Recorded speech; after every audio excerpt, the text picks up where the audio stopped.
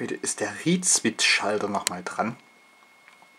Ja, es geht um eine effektive Methode, wie man aus hier wenig Spannung viel Spannung machen kann. Ja, ich meine, gibt ja da unseren Schulthief, ne? Ich meine, der ist schon so nicht schlecht. Kann man schon nicht meckern. Aber irgendwie, tja, muss doch noch effizienter gehen. Ja, momentan das, was wir auf dem Markt bekommen, sind solche ähm, Lämpchen für den Garten ne, mit, so einer, mit so einem Solarpanel oben drauf. Hier ist jetzt gerade eins in Aktion. Die funktionieren äh, auch so ähnlich wie Joule-Tief-Technik, kann man so ähnlich sagen, nur halt haben die keinen äh, Ferritkern in der Mitte, sondern die machen das mit einer, mit einer winzig kleinen Luftspule auf ihrem auf ihrer Platine, ja meistens vergossen. Hm, sieht man wieder nichts. Naja, jedenfalls, wenn man da mal das Oszilloskop ranhält, kriegt man mit, dass die ungefähr mit 500 Kilohertz angesteuert werden. Und wenn sie dann so die 0,7 Volt Grenze erreichen, dann wird die viel dunkler. Ne, also die leuchtet jetzt auch nur so hell, weil jetzt gerade ähm, der Dämmerungsmodus eingeschalten ist sozusagen. Das Licht, das fällt hier nicht direkt drauf. Wenn es nämlich komplett weg wäre, das Licht, ja, wäre die viel dunkler, ne? Ja. Ja, weil unterhalb von 0,7 Volt, ne, es wäre ja blöde, wenn die Akkus richtig leer gezutscht werden, ne, dann kann man die halt nicht mehr laden, dann mit Solar. Ist schon nicht so verkehrt, wie die das hier machen. Aber in Zeiten, wo man hier Kristallbatterien basteln können, also Batterien, die man bis die man nicht leer bekommt, sagen wir es mal so, ne?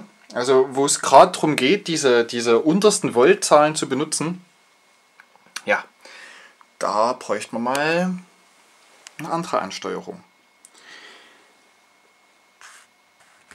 Ich kann es nochmal fix in 3D zeigen, wie es zusammengebaut ist.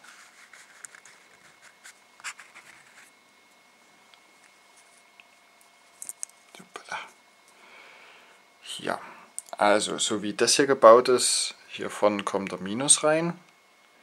Dann haben wir hier unseren Read Switch. Und hier oben drüber geht eine Leuchtdiode weg. Hier das ist eine Schottky-Diode. Diese welche.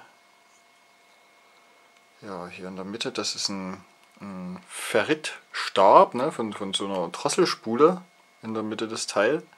Hinten drauf äh, Magneten.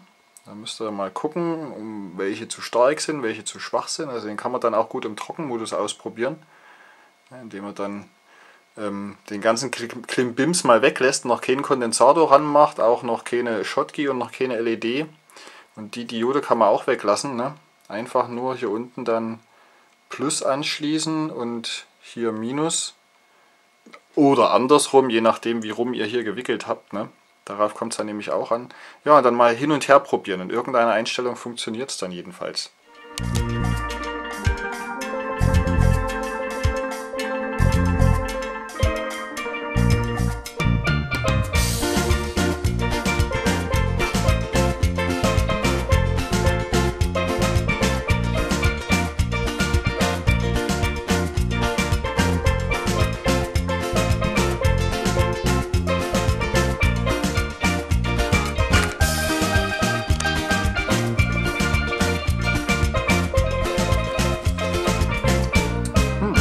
Mal einen Trockenlauftest. Ne?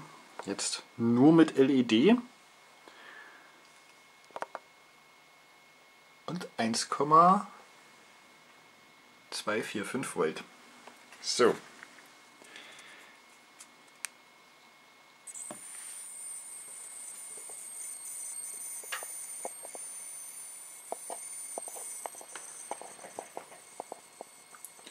Null Komma 006 Volt gesunken. Also dürfte sehr, sehr wenig ziehen. Und die ist extrem hell, die Lampe. Ha. Und hier klingt.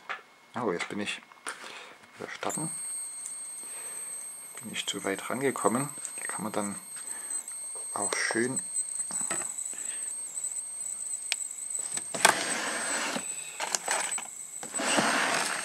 kann man dann auch schön die Frequenz einstellen.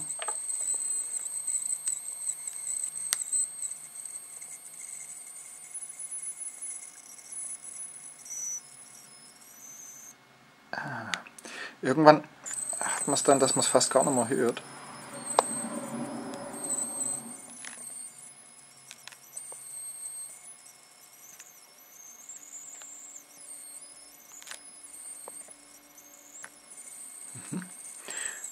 Je weiter wir hier weggehen, je näher ich dran bin, zieht mehr, jetzt gehe ich weiter weg, Frequenz wird höher und zieht weniger. Jetzt hört man sie fast gar nicht mehr, aber ist trotzdem noch an. Ah, jetzt ist ausgegangen. Das war zu weit. Also, der Punkt ist hier ziemlich kritisch. Hm, lassen wir es mal so hier. Ja, passt halbwegs. Ne? So, gut. Das ist ja erstmal schon so nicht schlecht. Ne? Hier LED, die eigentlich für 3,6 Volt gedachtet, äh, gedacht ist, leuchtet mit, das ist schon ordentlich Leuchtstärke. Ich kann jetzt schlecht beurteilen, ob es volle Leuchtstärke ist oder nicht, aber so wie es hier aussieht, also die ist schon ordentlich. Ja, und die Batterie also so wie das hier aussieht, die brennt morgen noch. Mindestens. Hm. Ja, soweit, so gut. Hier hinten, das ist jetzt eine Lampe für 220 Volt. Da ist original hier so ein, so ein Vorschaltdingens davor. Das macht dann irgendwie aus 220 Volt Wechselspannung, dann Boah, die. Ja, was ist das für ein Kondi hier? Ach, irgendwas um die 200 Volt Gleichspannung, was die hier braucht. Also die geht äh, mit, mit 90 Volt oder mit 100 Volt geht sie an. Also die brauchen wir mindestens, damit die, die ersten LEDs hier, die blauen gehen, oder die roten, ich weiß nicht, einen von beiden LEDs geht meistens zuerst an, dass man überhaupt was hier ist, aber so 100 Volt brauchst du hier mindestens, damit das funktioniert. Ja, wir tutschen ja hier jetzt schon schön. Ne? Mit der hier sind jetzt bei 12,33. Hm, na, klemmert die mal mit dazu an. Dazu haben wir hier das Plus.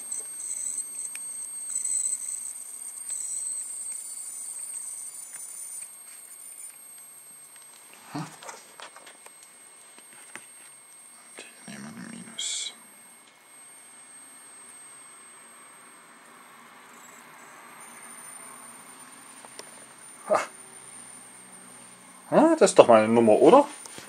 Kann man das lassen? Ja, ist natürlich nicht volle Leuchtstärke, ne? aber ey, die sind alle an. Und das sind mehr als 100 Volt, was die hier braucht, auf alle Fälle. Und das alles von der kleinen Batterie. Und gucken wir mal hier. Die ist immer noch bei ihren 1233. Boah, da bin ich jetzt baff. Also langsam wird's, ja. Langsam wird's. Halt, kleines Schmankerl haben wir noch. Und zwar, wenn das hier so schön vor sich hin fietscht, ist das ja ein Zeichen dafür, dass wir da hohe Frequenz haben. Ne? Ja. Ah, gut, jetzt entlädt sich der Kondensator langsam. Gut, können wir gleich mal, können wir gleich mal beobachten, wie es dann ausschaut, wenn wir sie wieder hochfahren, ob sie wieder heller werden. So, wir starten nochmal.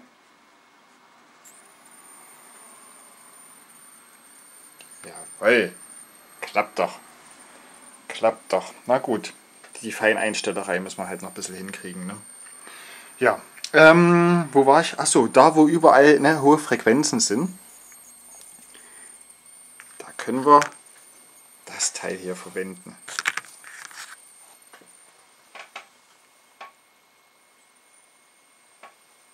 Aframenkos Elektronenpumpe. Jedenfalls der Herr Aframenko hat die zwei Teile in der Kombination irgendwann mal patentieren lassen und seitdem hat sich es bei mir eingebürgert oder eingeprägt. Das ist der Aframenko-Pumpe. Hm. Naja, wie dem auch sei, hier oben einfach LED ran. Ne? Und dann kann man damit dann wunderbar überall, wo hohe Frequenzen sind, sein Schabernack treiben. Kostenlos. Ne? Jetzt sind wir bei 12, 32, 31 gleich. So, mal gucken, ob wir noch ein bisschen mehr Energie rausholen können. Ja, ja, das sieht gut aus. Haha, wieder zu, zu weit rangekommen. Ja, ne? Auch noch kostenlos mit. Hier, da tut sich nichts. Das ist sie weg. Das ist sie dran. Weg. Dran. Ah, von, von Weitem. So hier.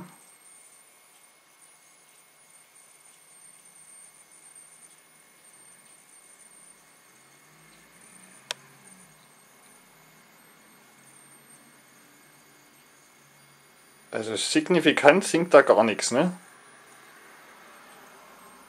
Und trotzdem kostenlos mit dazu. Ha. Ja. Ich glaube, auf der Basis hier, der Basis werde ich dann mal weitermachen. Hm. Schon faszinierend, was so ein bisschen Vakuum ausmachen kann. Ja, ist der Vakuum hier drin, den Reach-Schaltern, denke ich mal, oder? Ist da irgendein anderes Gas drin? Ja, da gilt es jetzt nachzuforschen und das etwas aufzupimpen. Aber so hier, hm. Ja, da kommen wir weiter. Ich hoffe, ihr auch. Bis bald.